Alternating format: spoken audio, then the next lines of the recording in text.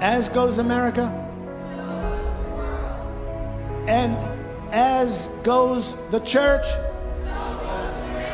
As goes the church.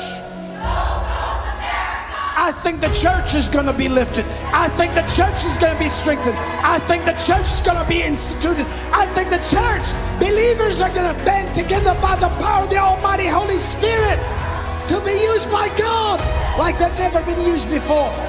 My God.